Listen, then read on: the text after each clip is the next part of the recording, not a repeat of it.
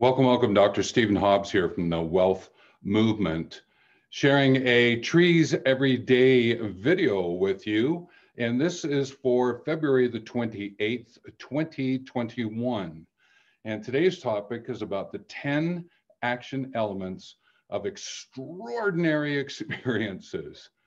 And what I'm going to be doing is uh, sharing with you the diagram that's here and being able to give you insights into the 10 elements, which are the numbers that you find here on the diagram. I'm also going to explain why the diagram is created the way it is, because it um, suggests something for you that uh, you might take into consideration for yourself as you start to create extraordinary experiences. I might go so far as to say, co-create or eco-create extraordinary experiences. So to get us started with this, I just want to remind you to subscribe, ring the bell, comment, like, and share so that we can continue our conversation together.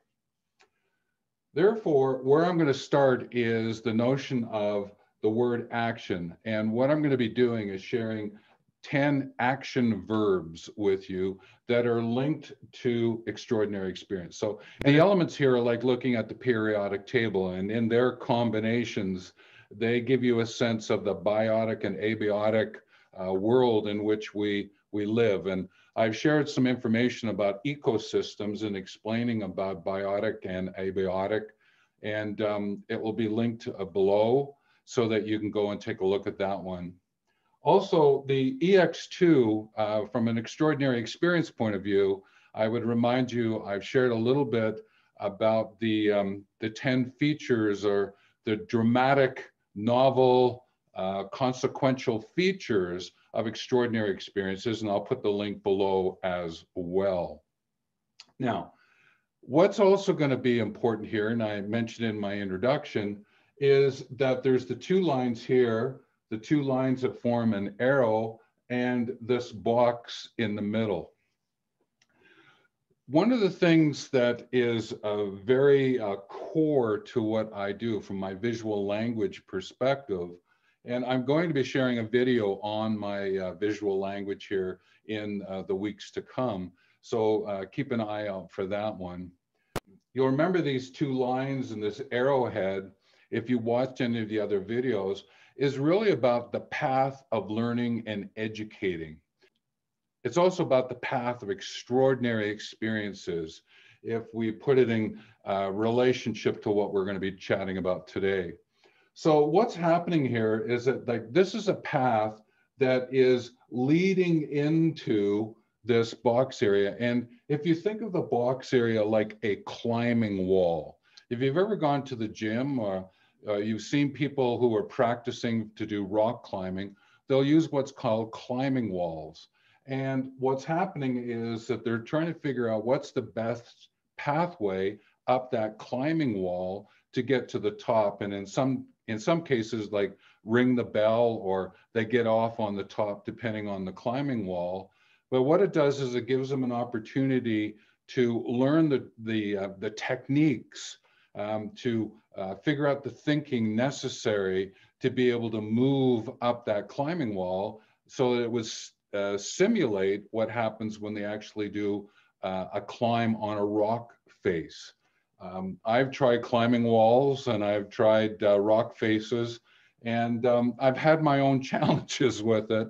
Um, being a little bit on the taller side, I sometimes would get myself um, out, sort of like uh, fully out, fully extended arms and legs, and then attempting to figure out where to move next. Or I got myself so cramped up, I couldn't figure out how to move next. So I found that um, the notion of rock climbing and climbing wall wasn't quite for me. Uh, my um, extraordinary experiences were linked to rafting and canoeing rather than thinking about um, climbing walls and rock climbing.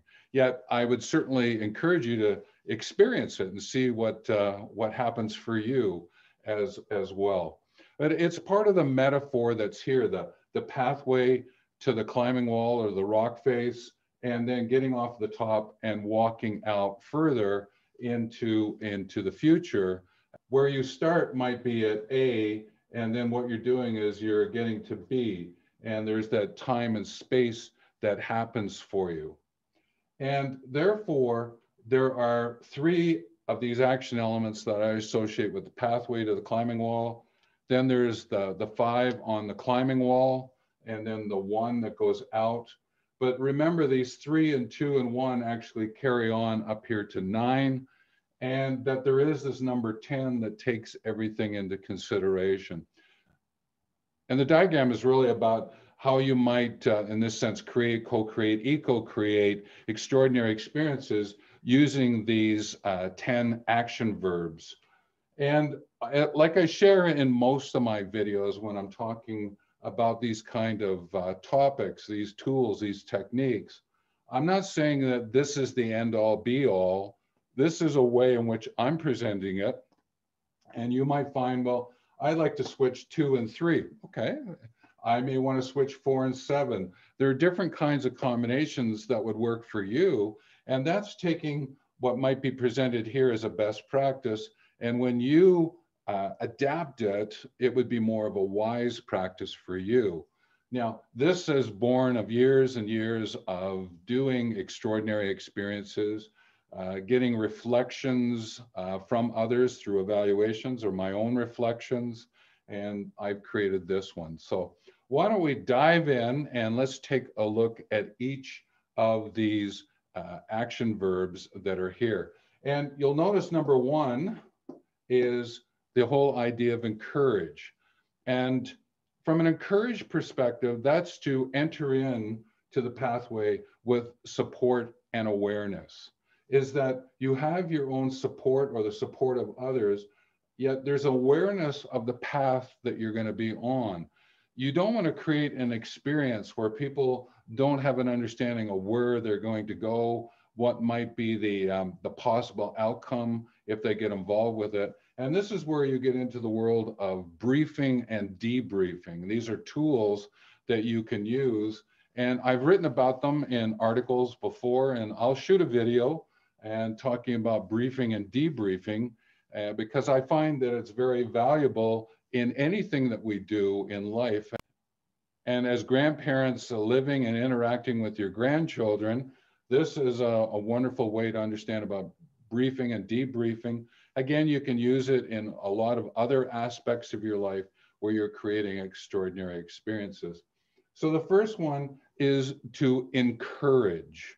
And another one is to think about the being mindful of the courage that's necessary to take the steps to enter onto that pathway to engage in that extraordinary experience. And if like rafting, uh, you've never attempted rafting, that could be an extraordinary experience. If you've not done rock climbing, that could be an extraordinary experience. If you haven't had a, a really great time walking in the in the woods, you could create an extraordinary experience there. If you're attempting to create an extraordinary experience for your grandchildren, then what is the element of encourage got to do with that? That's how you want to look at this as you as you move through this video today. So what we're going to do is take a look at number two. And number two, all right, is an essential one from the perspective of what energy. In other words, to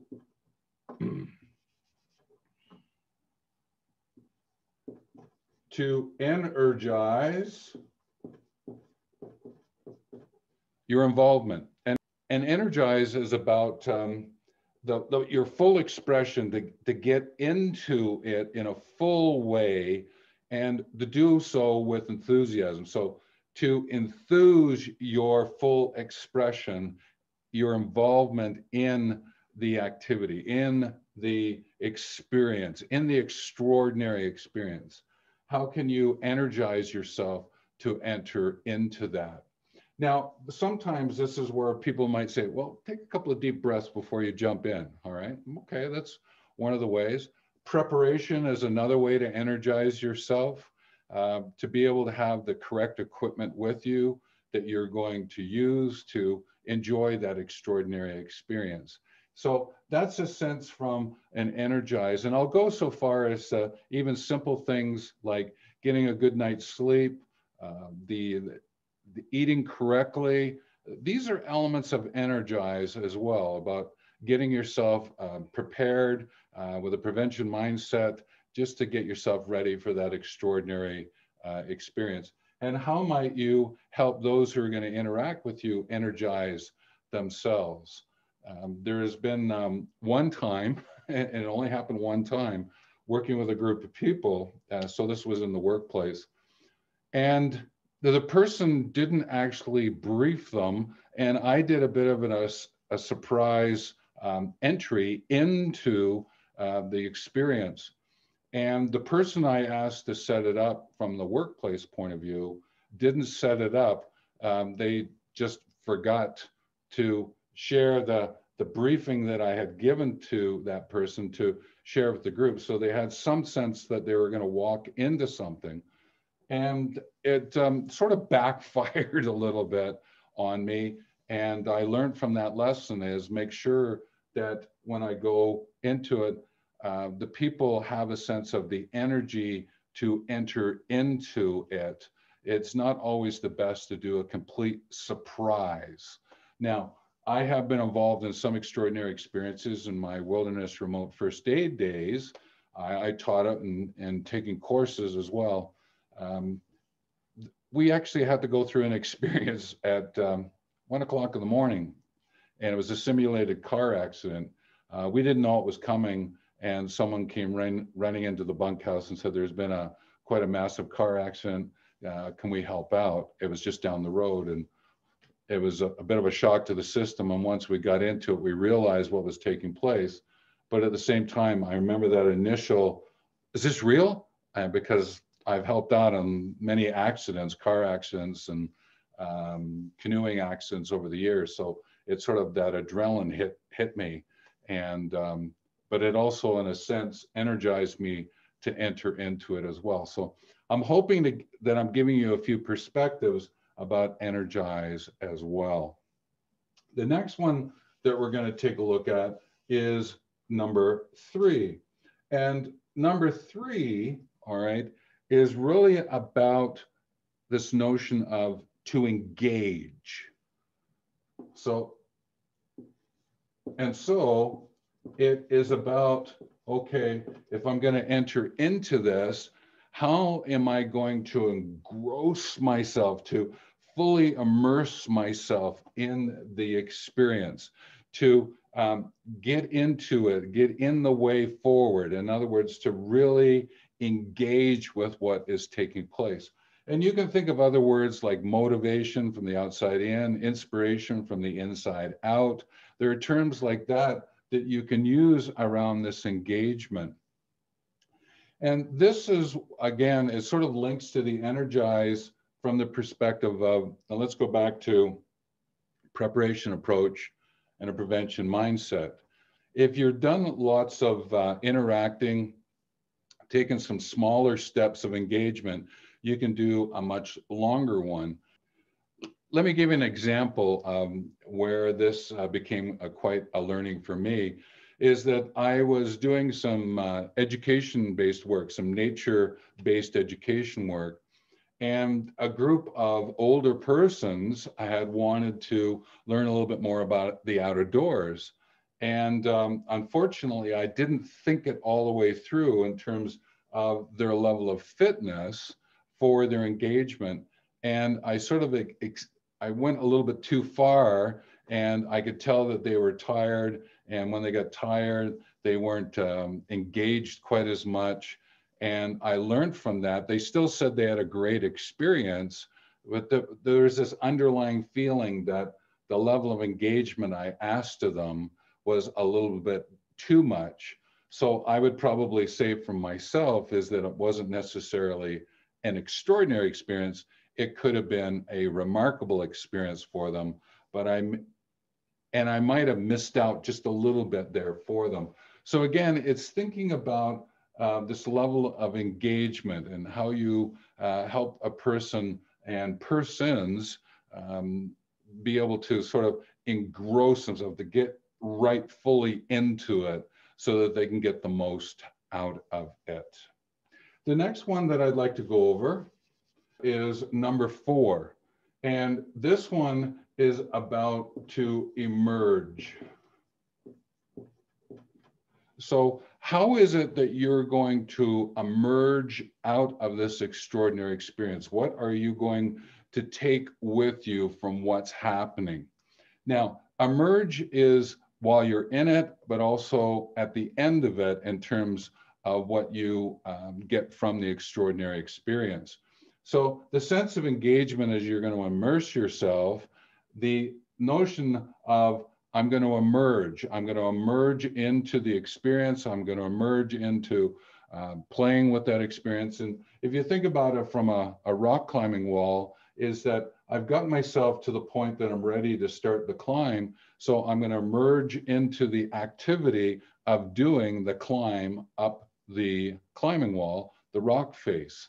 And it's a decision that I'm sort of going to, on from the inside out, and I'm going to get myself involved with this. So that's what I mean by emerge. The next one that I want to take a look at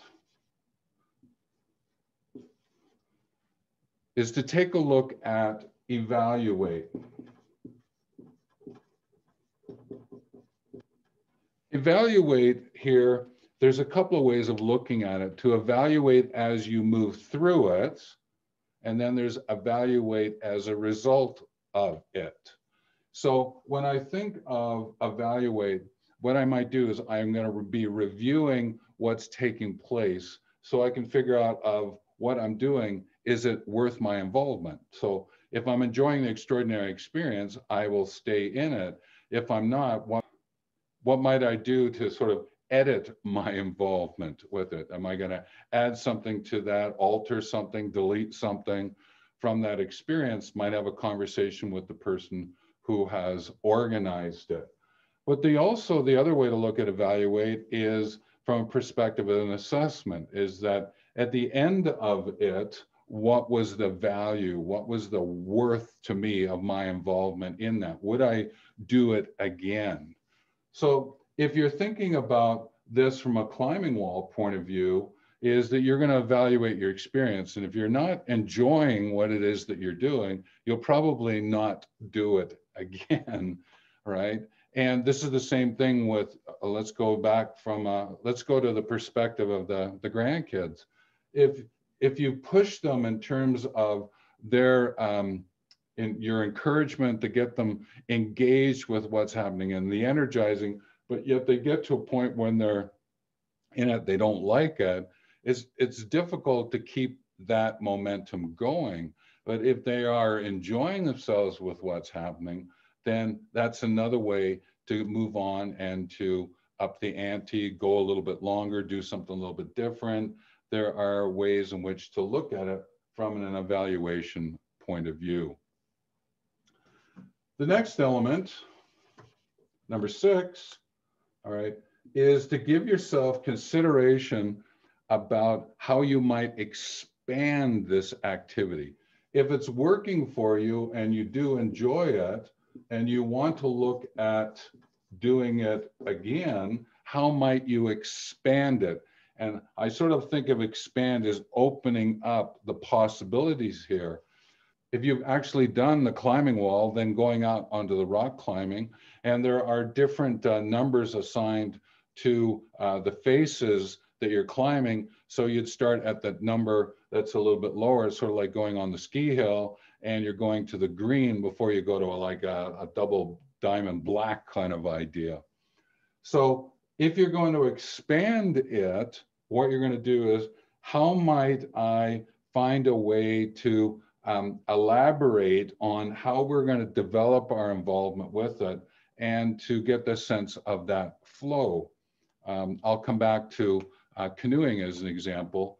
One of the things we did was we always learned about getting in and out of a canoe from a dock, how to get in and out of a canoe from a sandy beach. And then we said, okay, well then how might we paddle from the dock to a sandy beach, get out, get back in, paddle to the dock.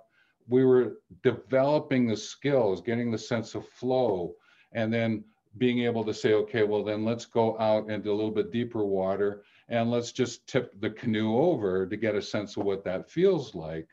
And it was just a sense of developing, expanding the, the opportunity that's here.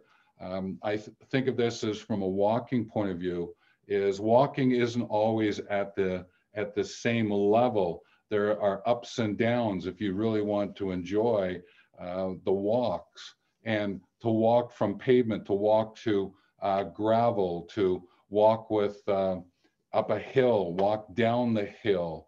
Uh, how might you expand your walking and the possibilities that are there for you?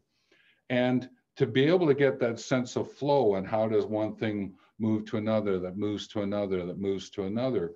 So how might you from walking in the summertime move to walking in the wintertime using snowshoes? Um, there's a basic uh, premise of walking and just using different tools in a different season. But what it does is it brings out a different kind of experience for yourself. And these are the, the notion of expanding the possibility that's there for you. Number seven is about how to extend the extraordinary experience. If you think about it from um, the expansion of, of the opportunities. The extend would be is how do you improve this over time? And let's do walking as an example. Is that from an extension point of view of this walking? Is what would happen is if we put a tent in our backpacks, loaded up just a little bit more, and walked out a certain distance and actually made camp, and then walked back the next day. That's what I mean by extension, all right? Let me use that canoeing example as well. We learned a lot about uh, the canoeing close to shore, close to a dock. We would do that as a way in which to get them ready. What we did was would do a, a 10 day um, canoe trip and going out and spending nine nights out in the lakes and having uh, paddle for quite a distance actually showed them how to do a bit of interacting with white water at a very low level. And the, this was for kids that were like uh, 12 years old. And we they learned the extraordinary experience of what was close and safe. And then we extended it for a longer trip. Uh, again, the possibility here is that uh, you could do RV camping and uh, you go for a weekend, then you go for a week. And what's the difference of the experience for the grandkids by doing that and uh, being able to see different views of the world as they uh, they move out and extend their involvement in the outdoors with you. So again, this notion of to extend. Number eight, this one's a little bit of a, a difference in that what you're looking for is to find what we call entrainment. From an entrainment point of view, let me use an example of um, the, uh, the counters on the top of uh, pianos.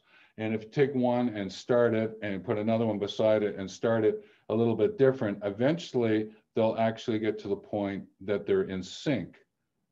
And what we're doing here from an entrainment point of view is to get in sync with each other, but also in sync with the activity in which you find yourself. Because when you um, energetically, number two, and from an engagement point of view, number three, through your encouragement, then what you're able to do is find a way in which to get them so that they evaluate and they're enjoying what it is that they're doing. The, they're emerging into the activity uh, there's a possibility of extension.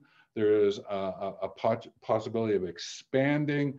The, all of these are starting to um, come together to line themselves up. And that's when you know you're in an extraordinary experience, when all these elements start to um, come to a place of you feel as though that they're lining themselves up. They're, they're working with one another to be able to get the extraordinary experience.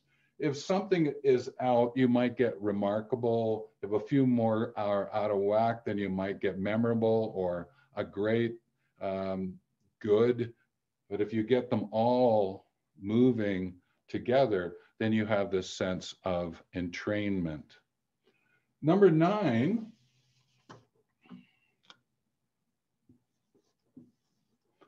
is to evolve. And what's happening here with number nine to evolve is that through your participation in the experience, in other words, to experience it, and you're moving into the experience, what is it that you're going to get out of that experience for yourself? And this is where you have an opportunity to pull more out of this experience um, that may not have been present. So the notion of walking in the outer doors, what might you learn about yourself? One of the things you might learn is this idea of exhibiting confidence in moving forward. The, the, the kids, the grandkids can get this, oh, I can actually take this walk. I, I can uh, become more confident in my involvement in the outer doors. I can start to appreciate what the outer doors um, has in store for me. Um, it's unfortunate is that from this involvement point of view, I've, I've created experiences for, for young um, persons and their grandparents, uh, uh, their parents have been involved. And all of a sudden I hit this number nine is they all of a sudden remember, well, woods are dark. That's a little scary. I don't know if I want to go any farther, even though I've attempted to um, take that sort of uh, myth away. They get caught up in something that um, maybe a friend had said, "Oh yeah, but be ready if you find yourself in a dark place in the outer doors." And uh, it's very unfortunate when that happens. And I attempt to evolve a way of appreciation, all right, uh, rather than let them uh, um, bring something that might have a bit of fear uh, associated with it. And therefore, how can I help them create this confidence to exhibit this confidence in being able to move forward and, and expanding out and seeing the beauty of, of what is out there? Um, I'm not taking it away from the sense of how do you um, think about it from a safety point of view? That's this notion of these three here is that if you're going to be encouraged to get in and you're energized and you're engaged, then there's an element of safety that is taken through to make sure that this all interacts in a really great way.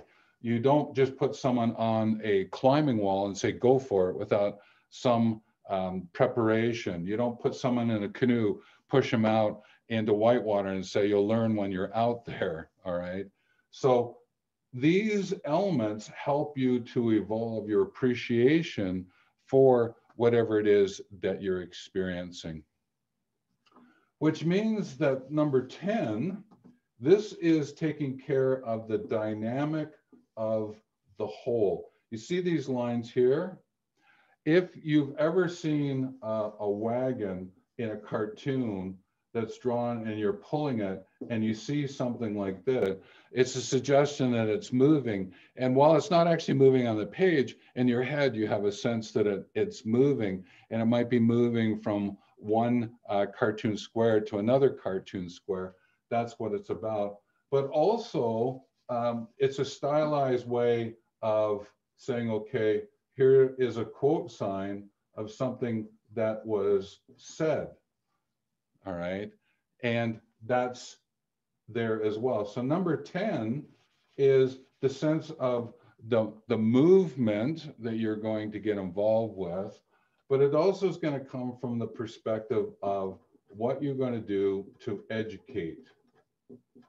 And I, I shared a, the, um, the 10 uh, types of educating approaches in another video, and I'll put a link to it below, uh, to be able to figure out what educating approach is best for the extraordinary experience is important.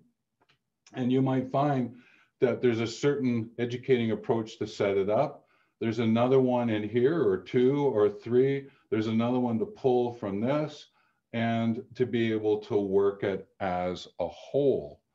So again, this notion of educating, it's really important. And it goes back to that phrase, when you listen, you learn, where you share, you educate. So if you're out there in this extraordinary experience as a grandparent interacting with the grandchildren, then make sure that you're listening so you can learn.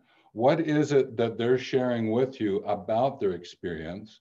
And then where you are, you're going to share so that you educate them about the experience and educate them about entering in, educate them while they're there, educate them about what they pull from it.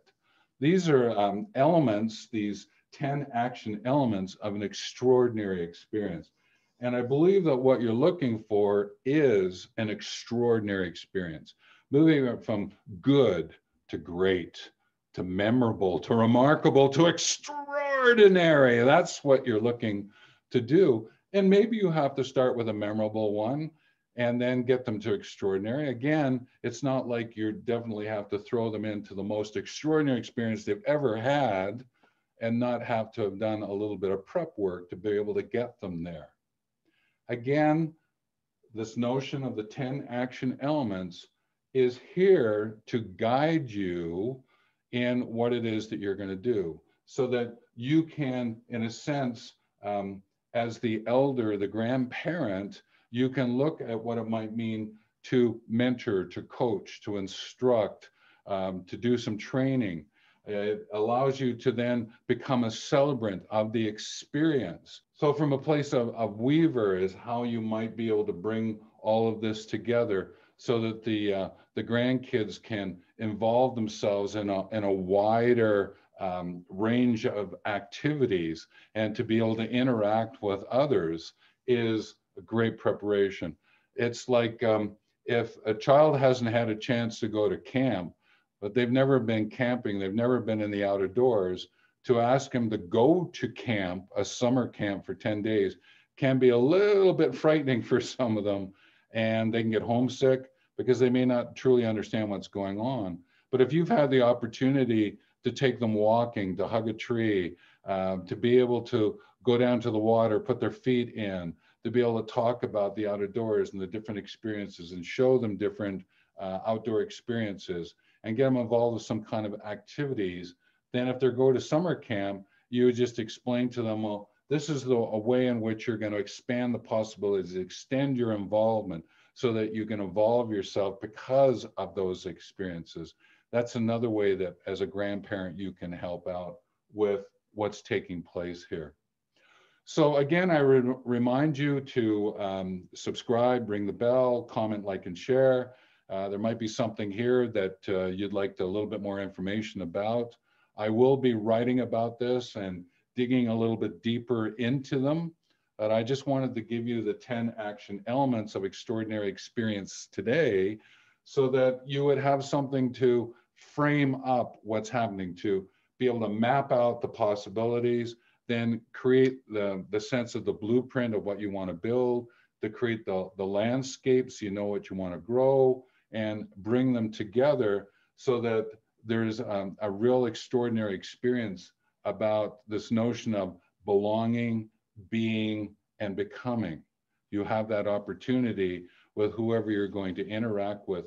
And as grandparents with your grandchildren, then you're able to do so much more to enrich their life, to be able to understand what it means to create their own extraordinary experiences or to create extraordinary experiences for others and it's sort of like a gift that keeps on giving. So with that, thanks very much and uh, take care.